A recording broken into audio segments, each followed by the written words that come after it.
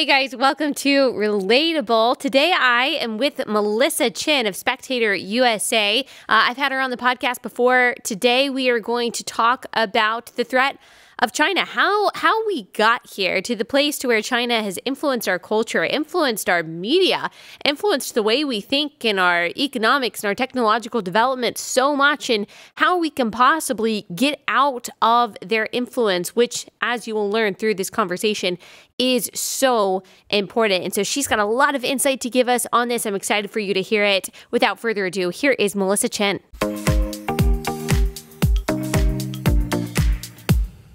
Melissa, thank you so much for joining us. Can you tell everyone who you are and what you do? Okay, my name is Melissa Chen, and um, I'm the New York editor of Spectator USA. Um, I'm also the managing director of an organization called Ideas Beyond Borders. And what we do is we translate books into Arabic, digitize them, and make them available for free. Wow. And you talk a lot about, well, you talk about a lot of different subjects, and uh, you're a really great follow for that reason. Um, one area that I want to focus on today is China, our relationship with China, kind of in general, and also specifically how you foresee the Biden administration kind of dealing with this hostile regime. Uh, first, can you kind of tell us your expertise in this area? So, you know, when, when it comes to China, I think firstly, I grew up in in a authoritarian country by most measures. Um, Singapore doesn't really have that many political freedoms, and it is a majority Chinese country, um, one of the biggest one ones at least in terms of percentage of Chinese um, in terms of the population. Mm-hmm. So I think I kind of understood growing up a little bit about what it's like when when you have um, you know policies or, government policies that are repressive, mm-hmm. especially when it comes to political freedoms. Um, mm-hmm. Um, Singapore got it right on, I guess, uh, economic freedoms. It's a very easy to do business kind of country. Um, people love living there. They raise good kids there. Um, I came to the United States when I was about 17. I immigrated here for college, and I love the values of the United States, um, especially the First Amendment. So I was pretty disappointed when I started seeing in college, maybe about like when I was in grad school, about 2015, how the country was changing. And it reminded me of what it's like being back home in Singapore, where there were certain, you know, kind of avenues of speech where you weren't allowed to discuss. Mm. And, you know, kind of being Chinese, I knew also how, how important Confucian values were to shaping society. And I felt, okay, this is a topic that I need to be a little bit more vocal about because I don't think the American, uh, at least back then, the Americans weren't really like we we were talking about this issue. Right. And it can, was very. can you expound just for people who don't know Confucian values? What you mean by that? Um, it's it's so Confucius was a philosopher whose philosophy really underpins a lot of Chinese culture. Mm. Um, it's very much focused on hierarchy of on duty, um, and and it's um, it's a very it's it's focuses also on a lot of discipline. It mm. values discipline and of the group over the individual. Mm-hmm. Okay. Yes, and so um, these were very important to um, to society and to the principles that were in Singapore, in in China, yeah. and you kind of saw that infiltrating in American institutions, and that that disturbed you. Well, it's um, more likely that you know there were certain aspects of culture that was very was increasingly getting very repressive. Um, we were justifying actions by sort of this idea about social harmony. Mm. Um, and, you know, about when I was in school at the time, it wasn't that bad. But I continued to work in a very academic environment. And I saw that on campus, you had students that were clamoring for repression of speech. These were, you know, the people that were going to graduate and go into our newsrooms, go into tech companies, HR departments everywhere. And, and they had this idea that that speech needed to be clamped down upon. Right. It, it, was equivalent to violence somehow, and so that was very disturbing to me because I I saw what that does to you know how that chills culture basically. Mm-hmm. And how do you think that happened? I mean, uh, we had this dream. Ronald Reagan, who I really like and admire, he had a, a, vision in the 80s and even when he wrote in the 90s that if we kind of exported capitalism into China, that they would become this freedom loving society and they would become maybe even more like the United States. Well, that didn't really happen. They took on capitalism and they kind of exported communism and more totalitarian ideas into places like the United States, to where, like you said, we've kind of become familiar with and comfortable with. Some people have, especially in academia, the repression of speech and the repression of so called dangerous ideas. How, how do you think we allowed that to happen over the past few decades? So I think it really began, you know, with um, Milton Friedman. His idea was that political freedoms were a necessary condition to lead to uh, economic freedom was necessary to lead to political freedoms, and this was consensus, not just in economics, but also in terms of politics and our foreign policy for, I don't know, ever since Richard Nixon went to China. This idea that, you know, if we just traded with China, if we just engaged with them economically, um, that automatically, just by default, the Ch- Chinese would clamor for more freedoms. Right. And they would want political rights. Um, and then we also thought, I think that's another, of, of you know, in terms of hubris, um, is that we thought that if China got the internet, um, Bill Clinton famously said, China censoring the internet is going to be like nailing jello to the wall. He actually said this. And he kind of laughed, and so did the audience. And of course, you know, fast forward later, it's it's obvious now that they did actually figure out how to nail jello to the wall. Mm. Um, the Chinese internet is completely censored and, and walled off. They built this great firewall. And so if you were right now, you know, growing up in Beijing and you launched your web browser, it looks very different. You can't go to Wikipedia, you can't go to Google, Twitter, any of these, you know, social media platforms that you and I can can just you know, load up and just like talk to people that have dissenting views or even just read articles from from different sources like the New York Times itself. Um, and so you can see that you know this this calculation was was one of the biggest foreign policy mistakes I think the United States made since about 1930. Um, and but there was good reason to think that China would open up. I don't think that that was a bad calculation, but I think we missed a lot of signs along the way that it wasn't going as planned. And many of our elites were very happy to reap the economic benefits from that trade. A lot of our jobs were shipped overseas, and you know, middle class was hollowed out. Um, and and here we are with an economically empowered China, and they are as authoritarian as ever. They've mm-hmm. figured out how to fuse capitalism with authoritarianism, and in a very new way, they call this socialism with Chinese characteristics. Mm.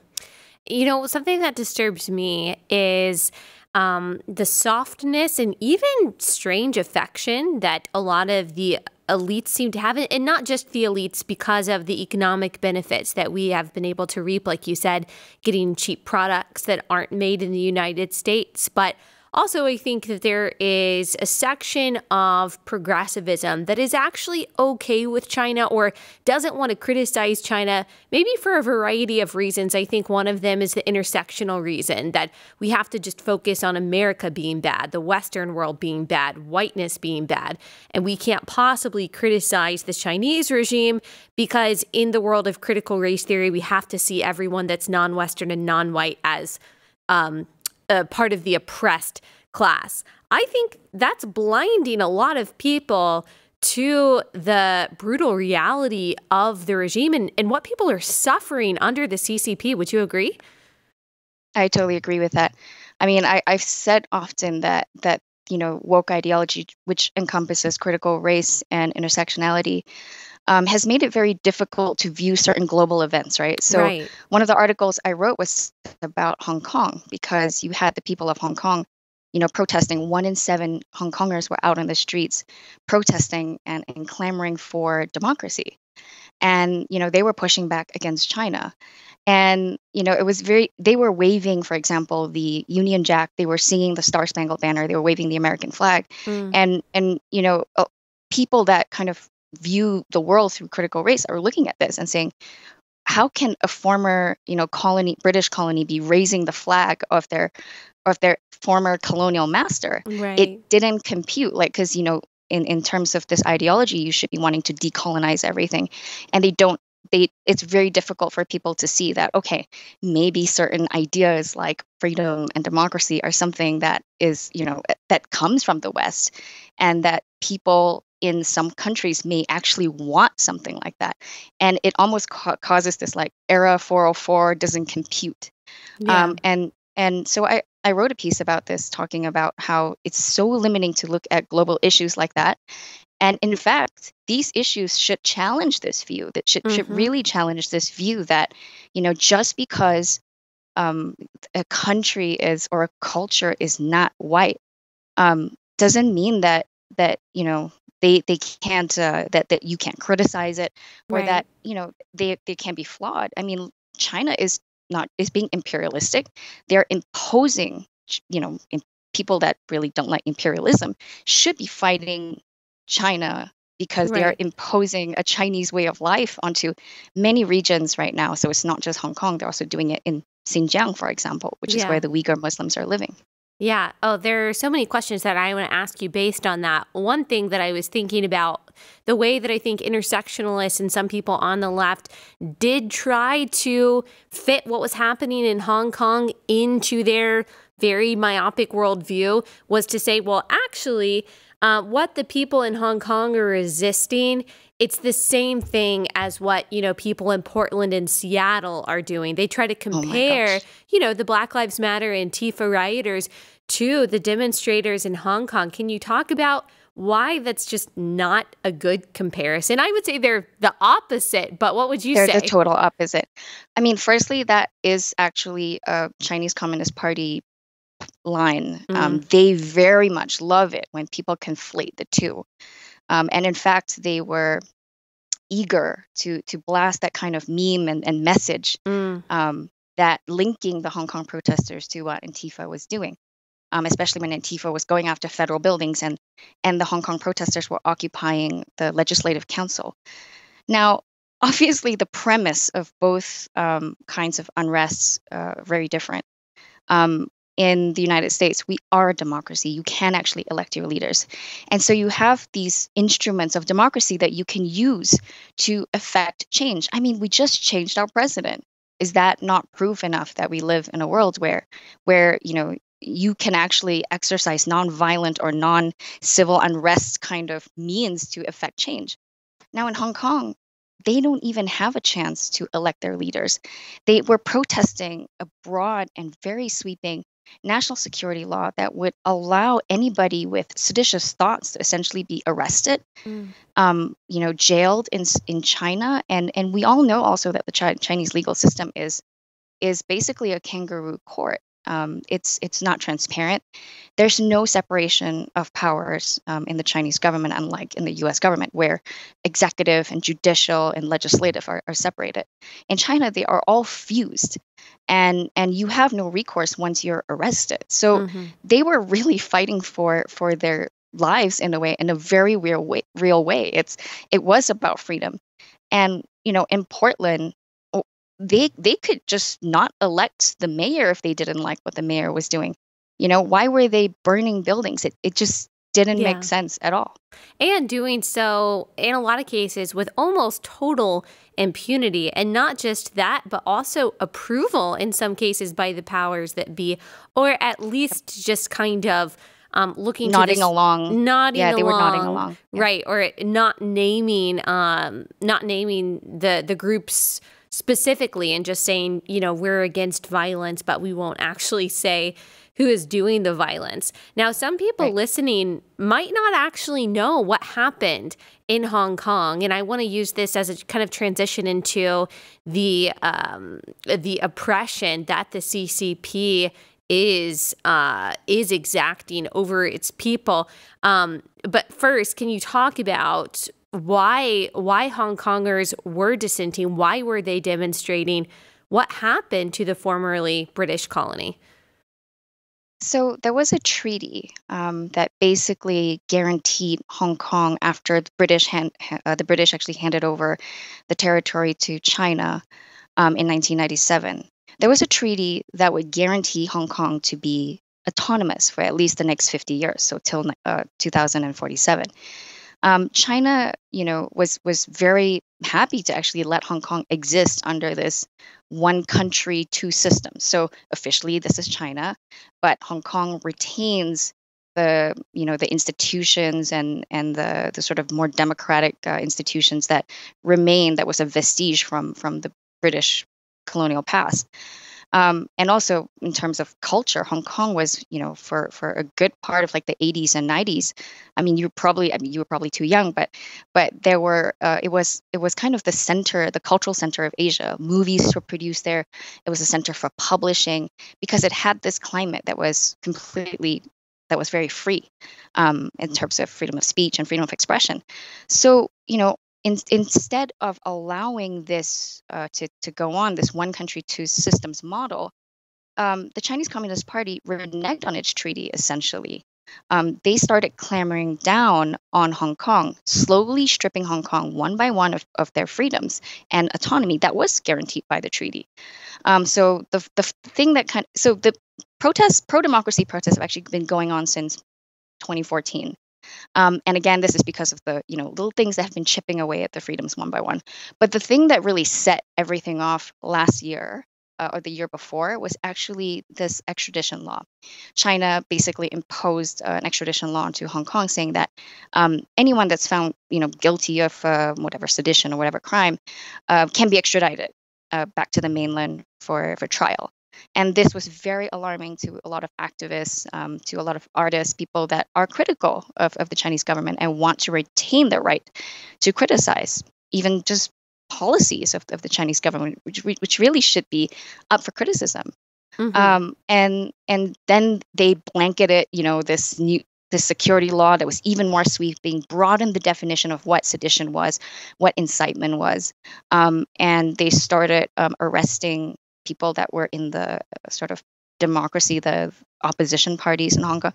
So they just completely overreached. Um, and and that's why people were were so angry and they were on the streets. They wanted to fight for their you know own right to vote in the parties. They wanted to fight to abolish the the security law, and they wanted the world to notice and to stand with them. Um, and yeah, that's what the Hong Kong protests were really about. And did the world stand with him? I mean, I know there were conservative Americans and probably progressive Americans too who who did at least in our voices, but I mean, what about the UN? What about other world powers? Did anyone come to their aid? Um not so much. The global institutions were were pretty quiet on. I mean, I think you did have like Human Rights Watch definitely released statements. Um, but in terms of actual policy, right, I think the UK and, and the US was thinking about this, but the UK definitely um, opened the country up and saying that, okay, if you ha- have a Hong Kong passport, you're going to have a pathway to citizenship. You're allowed to, to you know, travel to, to the UK and at least yeah. uh, try to, to immigrate. Um, but for the most part, I mean, look at what happened when we had a sitting manager of an NBA team basically espouse his support for for you know the Hong Kongers who are fighting for their freedoms. Look what happened to him. He well, he doesn't even manage that team anymore, but yeah. he was completely you know he, he was he had to grovel and apologize for for what was a very benign um, right. statement of support on Twitter. Wow, that's. Can you talk about just in case people just don't know or they just don't fully understand the depths of evil of the CCP. Um, and we're talking not just internationally, but with their own people. Can you talk about some of the things that they're doing, for example, like with the Uyghur Muslims? Yeah, um, my gosh, the this is one of those cases that is just so tragic because it's happening right right in front of our eyes. Um, the Uyghur population is is basically a Turkic um, Muslim minority that lives in northwestern China in a region called Xinjiang. And um, they have been sort of surveilled. Um, their freedoms have been curtailed. They're, you know, some some Uyghur Muslims are actually put into these modern day re-education camps that look very reminiscent of of you know camps past in Auschwitz, and you know they they don't have any. Um, there's no due process. So if you got if you got swept up by the state security apparatus, you basically get whisked away. Um, your family never knows when they'll see you again, and mm. all in the name for, of you know fighting extremism, fighting terrorism, um, and separatism. Mm. Because you know the Chinese government ultimately is worried that that this minority group wants to to separate and be autonomous from China, and that is no go for the Chinese government. And so, based on you know just their characteristics, now they're actually using genetic data as well to identify who's Uyghur. Um, They are they are imprisoning them up front. So you know with with just nothing other than no information other than um, just what who they are and and what they believe. And so they're also trying to um, sinicize their habits. They force these muslims to basically shave their beards. They can't eat pork. And when they get when they get sent to these re-education camps they have to sing praises of the chinese communist party. They have to sing these patriotic songs. It's you know make pledges. It's kind of it's very very creepy mm-hmm. um, because it's so totalitarian in terms of how they're subjugating these people. And um, you know, satellite images. Some some reporters have done amazing work. One of the things about China is that journalists, especially foreign journalists, don't have freedom of movement in the country. So, if you're a foreign journalist and you try to go to Xinjiang to even have eyes on the ground and report on this, you will probably not be allowed to, um, you know, actually last year during COVID, China kicked out the New York Times, the Washington Post, um, all these Beijing bureaus that were there. So we don't even have offices in China anymore. They're not allowed to operate there, and um, and, and journalists have been expelled for for just their honest reporting on what was going on in Xinjiang. Um, so it's it's and you know they're also doing uh, forced sterilization mm-hmm. of of um, the Uyghur Muslim women, and mm-hmm. and recently Pompeo, Secretary Pompeo, actually, you know, designated what was happening there as a genocide. Mm-hmm. And um, actually, to Biden's Secretary of State's credit, Antony Blinken, he actually agreed that it was yeah. a genocide. Yeah, yeah, forced sterilizations is what I've seen reported, forced abortions, and just some of the testimonies of women that have actually been able to speak, who have somehow escaped or who have just been able to um, give testimony to what's happened. What's happened really for a lot longer than I think the United States has known um, are these forced late term abortions. And there was this propaganda tweet that went up not too long ago as we're recording this that said, you know, the Chinese Communist Party is, um, they're doing such wonders and such favors for the Uyghur Muslim people to make sure that these women, um, you know, they're modernized and they're, um, they're not forced to have, you know, eight children. We are being so kind um, by performing these forced abortions and forced sterilization um, uh, forced sterilization procedures. We're basically liberating women because of that. I'm not sure that people understand the willingness and um, the brazenness of the Chinese Communist Party to just flat out lie about everything. Right. And it's it, right. it really amazes me how we're not more angry at China, not just for that, but how they've lied about the coronavirus, how they've infiltrated the WHO with their lies. I don't know. I don't know if it's naivete by Americans or if it's just apathy or if it's that critical race theory coming in but it really blows my mind. I, I think coronavirus has woken a lot of Americans up to uh, China's actions because um, you know how they dealt with COVID, how they've tried to spin the narrative after they got caught out for um, basically letting this spread um, and not alerting the world about it, and you know just kind of hampering the the WHO investigations that one year later more than a year later, finally a team made it there. And even though a team made it there, they were not allowed to um, examine one hypothesis that seems, you know, not at all to be ruled out, which is the lab leak hypothesis. And so you can see that, you know, China is really trying to control this narrative.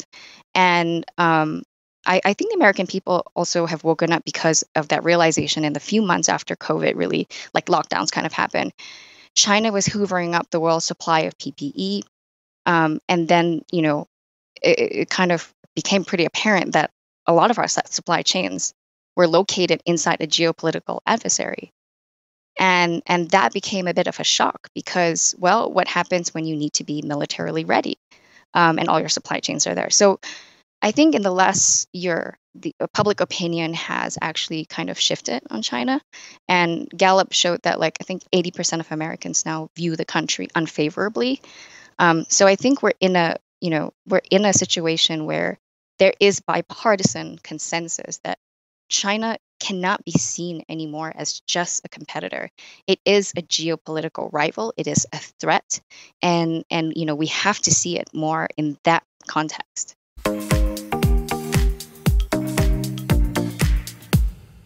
Okay, guys, summer is my favorite season, and 4th of July is my favorite holiday.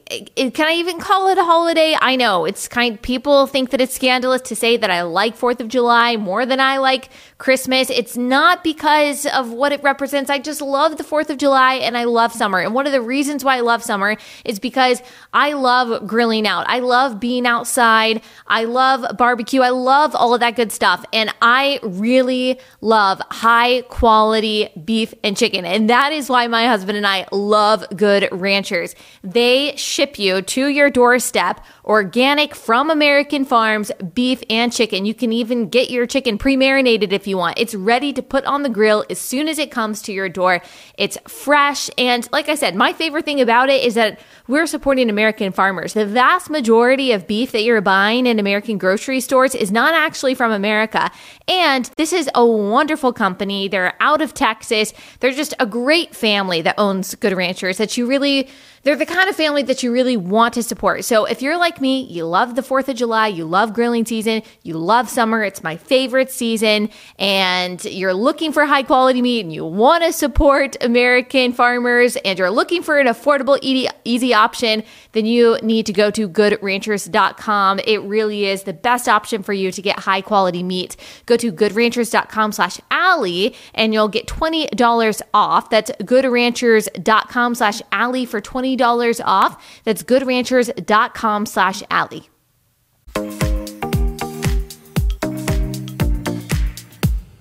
And I think a lot of people also don't know, even though I am glad to hear that the majority of the country do see China uh, does see China rightly, um, what they're doing in Africa, what they're doing in South America, you know, catching these poor countries in debt traps by saying, you know, we're going to create these railways or something like in Ethiopia, and you'll be able to pay us back with all the money that you're making. The railways don't work, the construction doesn't end, or whatever it is. Um, the, these things don't function that they build in these countries, and then they've caught these countries in a debt trap. Or I have a friend who is from Zimbabwe, and um, there there are places in Zimbabwe where you can um, you can get oil, you can dig for oil, um, and rather than the people in Zimbabwe being able to do that themselves, the Zimbabwean government has said no, we're going to reserve this area for.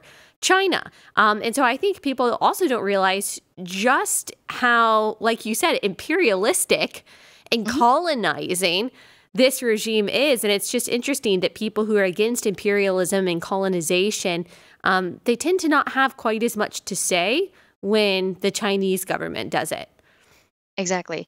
And actually, it's even more insidious than that because when these countries cannot pay up for this debt, like this actually happened in Sri Lanka, they have to give up their ports. They have to give up strategic wow. assets to China that's part of the contract. And then that becomes a way China is basically controlling important entry points that are strategic in an event of some sort of military operation, for example. And so this is it's it's it's very dangerous. Yeah, it is. And obviously China going into these agreements knows how it's going to end. It concludes exactly how they want it to conclude. They know that these poor countries are not going to be able to pay them back. I don't even think we understand um, the the depths of evil and oppression, unfortunately, that they are executing, um, not just on their own people, but around the world. One thing that I do want to talk to you about that we talked about before we started recording was other kinds of religious persecution in China, not just towards the Uyghur Muslims, but also towards Christians, and in particular, this rewriting um, of the Bible to fit more communistic standards. Can you talk about that?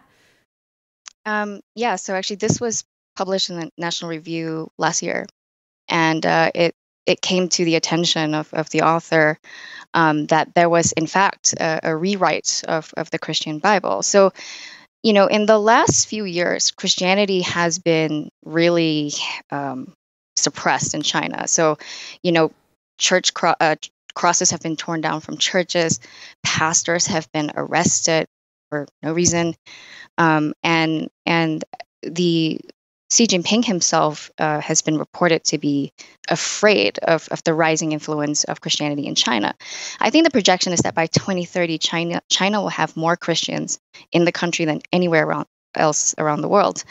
Um, and the thing about the communist country is that they they're very afraid of of religion kind of supplanting the state mm-hmm. and so that's why they keep religion under under such a strong thumb mm-hmm. and it's not just christianity obviously it's the buddhists i mean as the tibetans they've been subjugated for a long time uh, falun gong which is also a taoist blend uh, and buddhist blend of of um, you know this a spiritual group uh, they who they've been subjected reportedly to um, organ har- harvesting, yeah. for example. Mm-hmm. But yeah, in the case of Christian Christianity in particular, it's it's a big threat because there's just so many. It's it's it's a lot in terms of numbers. Um, the Catholics on on on one hand have a bit of a easier time, and that's because I think two years ago the Pope actually uh, you know agreed to let China be the one that oversees the appointing of the bishops but you know, Christianity tends to be Protestantism, at least, is is more decentralized, and so it's been targeted uh, a bit more heavily by by, by the by the CCP. Mm-hmm. Um, and so this rewrite of the Bible was actually really it's so creepy. Um, it was actually a story. One of the one of the one example of the rewrite um, is actually the story in I think it was in the Gospel of John, where there was an adulteress and and he the adulteress was about to be stoned and jesus tells the crowd you know let let he who is without sin cast the first stone um, pointing out to you know to the crowd about hypocrisy and about the importance of forgiveness eventually the crowd disperses and the woman you know doesn't get stoned in the chinese communist party rewrites of the bible this section um, jesus christ lets the crowd disperse but he takes a, a rock and he actually bashes the woman's head. What? So he kills her himself. Um, and if you you know the reasoning for for this kind of a rewrite is the moral that the story tells that is in line with oh, advancing the wow. ccp's goal and the ccp's goal is to say that the law of the land cannot be subverted um, that religion jesus christ this religious figure had to conform to the law of the land because the law is the law and it is so disturbing. Um, wow. Yeah, you can look it up. National Review did a really good uh, write up about about this this CCP version of the Bible. Yeah. Um, that's the kind of you know it, it, tells you so much too about what the country fears. Mm-hmm. Um, and and I think it's a very stark reminder of of the kind of uh, you know lengths at which they're willing to go to to either supplant, co-opt, or repress religion. Yes, and uh, I you talked about this so well and so thoroughly that the real enemy, I think, it seems that China sees is an ideological enemy. It's not just a military enemy, it's not just about technology, but it's primarily ideology. And to me, that I mean, that seems to be their motivation for infiltrating so many institutions in the United States and for so effectively putting um, or pushing their propaganda in the United States that unfortunately we see a lot of people repeating without even really realizing it. And certainly as a Protestant Christian myself, I can see why the CCP would see Protestants as a threat. If you look at the history of, Protest- of Protestantism, it has been resistance to tyranny. The the America probably would not have been founded without the Protestant Reformation. The ideas of the Constitution and the Declara- Declaration of Independence are are built on that. Um, and so I I can see why I can see why they they see it as a threat, and I think Christians here should be uh, more aware of what they are trying to do on an ideological value system level, even more than we are looking at what they're actually doing militarily or what they're doing with our technology. Um, and just yeah. kind of be aware of the perversion that they're trying to be able to push on our faith in the name of kind of claiming minds and claiming belief systems. Um, do you think, or do you have hope, I guess, for how the United States is going to? Confront the threat of China here and abroad under the Biden administration? You know, I, I think what you said about the ideology part is actually spot on. It's something that I think I've been trying to get people to understand that that's actually, you know, they always say culture is downstream of politics. Well, ideology is downstream of culture. Mm-hmm. And if we don't get that piece right, we're, you know, and think that we're still in a position where where China can be engaged with, um, and and you know we can use I don't know we to to get concessions to get them to cooperate on say climate change. We're going to concede and appease. Um, you know, it's been demonstrated for the last dec- last few decades that that that kind of engagement appeasement tactic just hasn't worked at all and and that's also because that we you know we didn't really focus on ideological differences between China and the United States and how those ideological differences actually clash. And so, if you have room for only one kind of world order, um, which I think that's what the cases that we're looking at here because they're antagonistic um, in the sense that they're mutually exclusive. Like if the American world order is going to be the predominant one, the Chinese one cannot be at the same time. Mm-hmm. Um, then then we really have to push back on what's happening on every front. And you know, you spoke about the influence operations of infiltrating these institutions. Um, we're talking about on the economic front, um, you know, the theft, corporate espionage, intellectual property theft, um, then the digital front, we're looking at AI, we're looking at um, sort of big tech issues, um, 5G, for example, and um, and then you have in, more like covert influence influence operations like the Confucius Institutes, um, you know, kind of cultural exchange kind of uh, institutions here, and um, and things like the Belt and Road, which is really the Belt and Road Initiative, the debt trap diplomacy, is mm-hmm an attempt to to influence um, other countries and and sort of buy their acquiescence, right? Mm-hmm. Um, things like the Thousand Talents program, which you know China uses to recruit American um, academics to set up shop in China and and and sort of share their research, research that, by the way, like the American taxpayers are funding. Wow. So essentially, you are funding you know their the development of China's um, technologies.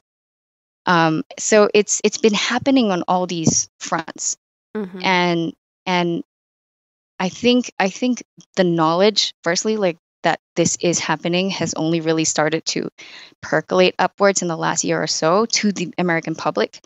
More and more cases, the DOJ has launched this thing called the China Initiative, um, and the DOJ has been like prosecuting more cases. I think the FBI said that they open um, out of out of out of the the cases that are currently open in terms of uh, counterintelligence cases, about fifty percent are against uh, Chinese nationals or people that are spying yeah. on behalf of, of the Chinese government. So there is growing awareness. Now the question is, how are we going to push back, right? Yeah. Like at the end of the day, we want to avoid a hot war at all costs. Mm-hmm. Um, but I think the primary way is we're going to finally have to impose costs on China for very bad behavior. We, we need to dis- disincentivize um, the kind of behavior that that really we've let China just run away with for the longest time.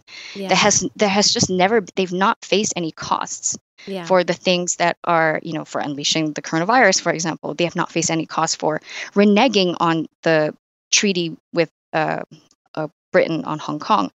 So we need to ramp all these uh, costs up, and that's in part what Trump's trade tariffs was supposed to do was to punish them for, you know, for basically taking advantage of the United States in terms of uh, trade for the longest time and having this like huge imbalance in our trade deficit. Mm-hmm. Um, but mm-hmm. that's the kind of action that we need to do for every action that the Chinese government has been um, taking a little inch on, you know, militarizing the South China Sea. We need to push back. We need to impose a cost on them for doing that, so they know that this is just unacceptable.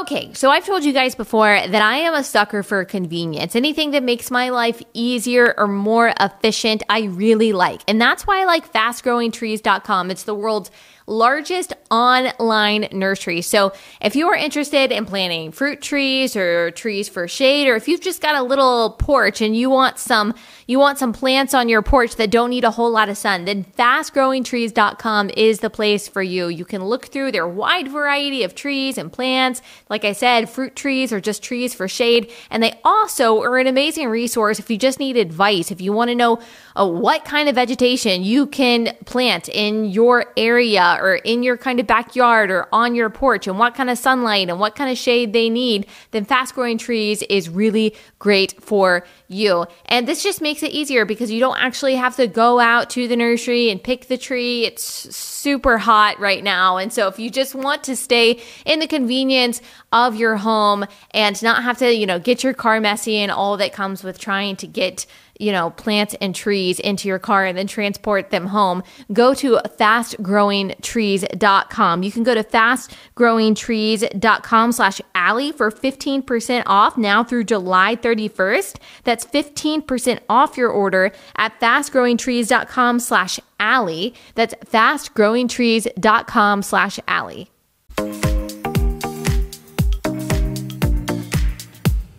And I think uh, part of our responsibility here is to connect the dots for people that um, if this truly is primarily an ideological battle um, and they are pushing forward on that front, and like you said so well, that the American world order and the Chinese world order are mutually exclusive. If the Chinese world order is the dominant one, then this idea of equality and inherent rights and free speech and religious liberty, those are all gone. Those are not values that China has. And, and China has. Uh, has has no priority, no desire whatsoever to say, okay, well, once we are officially in charge of everything and everyone, we'll still allow you to have some of your value systems. We'll still allow you to have some of your belief systems. They're not interested in that. They're interested in world domination. The way that America kind of affectionately and maybe naively said, you know what, we're going to kind of give some of our values to China and hope for the best for their people Uh, the feeling is not mutual there. like they don't Absolutely. have any sort of compassion or generosity or understanding towards other ways of life in other kinds of cultures and other kinds of people or belief systems or other ideas right. of rights. It, it, they just won't allow it. Right.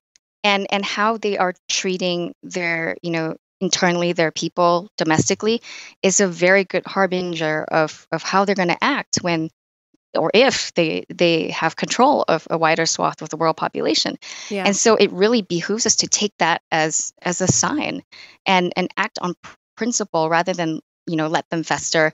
And and by the way they're going to be they're actually perfecting this techno surveillance state um, the panopticon. They're perfecting that on the uyghurs and you know they're going to deploy it on a, on a much larger scale. Of I mean, course. they already have this rudimentary, actually, it's not even rudimentary, it's pretty sophisticated um, social credit system that the entire country is subject to.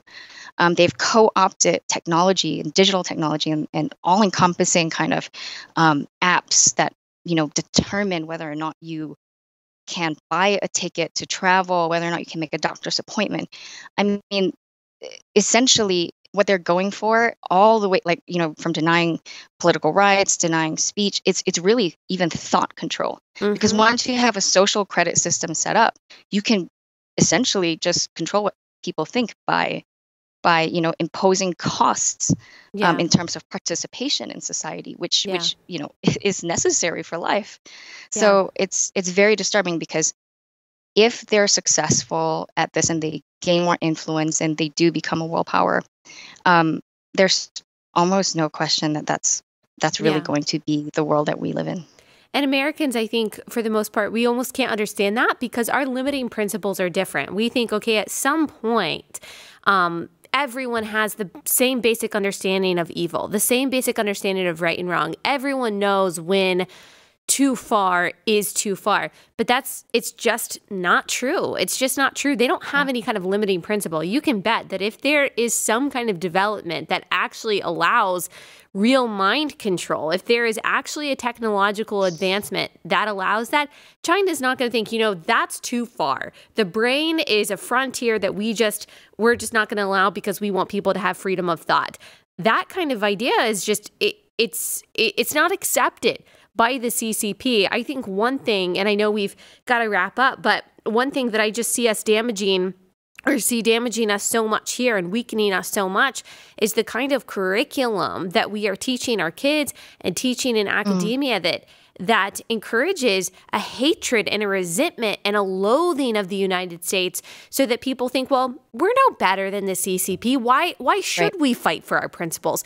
Why should we care about the Constitution or inherent rights? All of these things are systemically racist, they're oppressive, they're wrong, and America is just as bad as any evil regime, even worse. That kind of idea, I don't know if it's directly from the CCP, but the CCP loves it. That's exactly They benefit from it. Yes, that's exactly what they want us to think. I just I see that as almost the biggest domestic threat that we have that if you have people that hate themselves, hate their fellow countrymen, hate their country and their founding principles, why why would anyone stand up against the totalitarian values of, you know, a regime like the CCP? Right. No, you're you're exactly right.